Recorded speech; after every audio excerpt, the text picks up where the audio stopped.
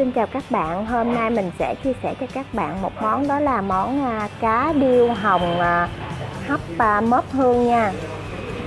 Món này nguyên liệu cũng rất là đơn giản luôn á mà rất là hấp dẫn luôn. Và rất Liệu để làm món này gồm có hai con cá điêu hồng.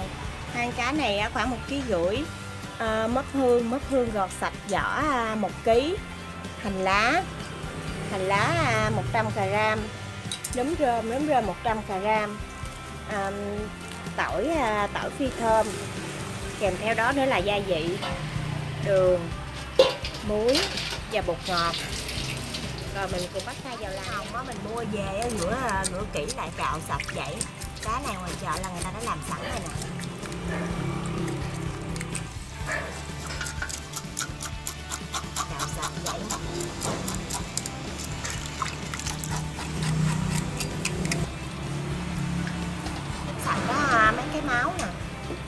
Ra, mấy cái máu này nó tanh lắm á.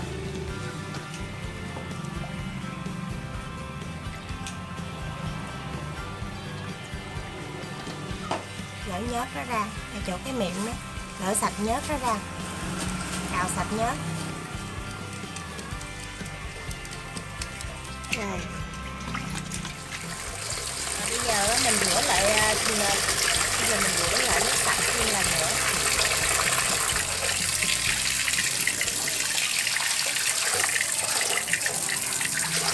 sau khi rửa nước sạch xong á hả, mình đã lấy cá để ráo rửa sạch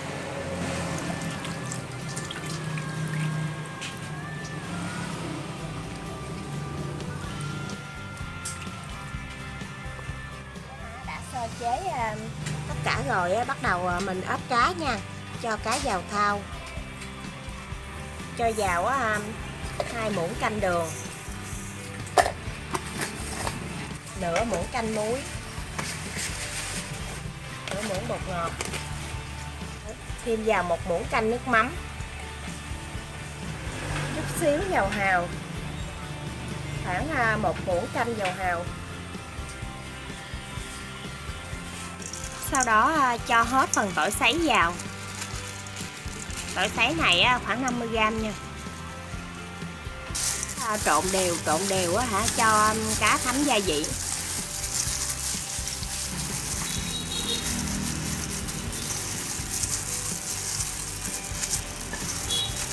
À, trộn đều cho cá à, ốp à, cho trộn đều cho cá à, thấm đều gia vị rồi á mình ốp khoảng chừng à, 15 đến 20 phút nha cho cá nó thấm gia vị.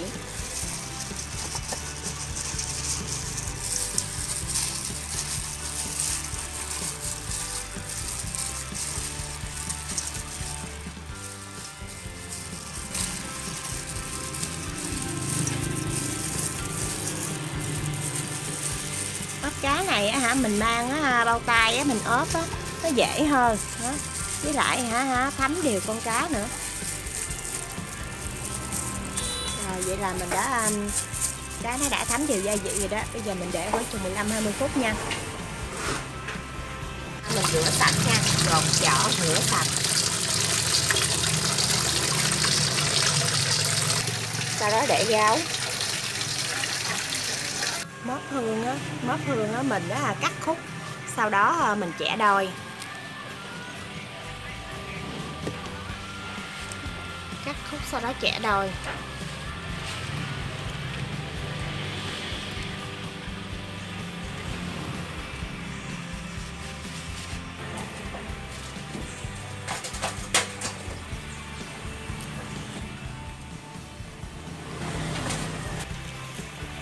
Rồi à, sau khi đã à, cắt mớp xong rồi mình cho mớp lên à, lên mặt cá nha. Mớp lên trên mớp lên trên cá.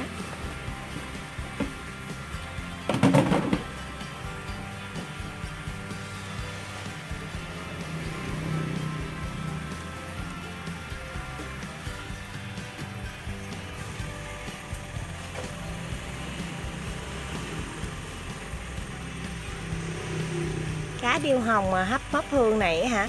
Bắp hương hả? Nước bắp hương ra nó ngọt lắm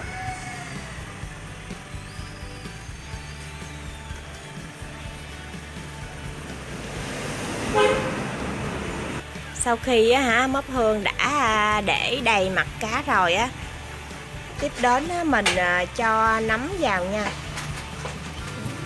Bạn chừa một cái à, khoảng trống chính giữa vậy nè để cho để nấm rơm vào. Nấm rơm á thì là để nguyên nha để nguyên á hả nấm vậy đó. Khi mà hả, hấp xong ăn rất là ngon cắn vào hả nước ngọt nó ra đừng có đừng có cắt. Sau đó à, cho hành lá vào hành lá chủ yếu là xài cộng thôi. Đó, cho cộng hành lá lên trên.